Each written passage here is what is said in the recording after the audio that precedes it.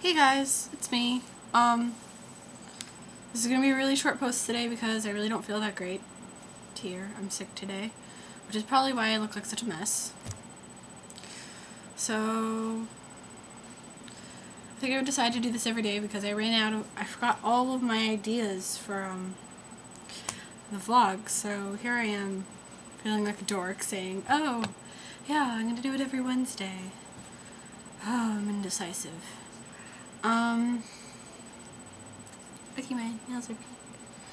Um, one thing I could talk about is, um, recently one of my favorite K-pop groups, SHINee, came out with their second full album called Lucifer, which is absolutely amazing. Um,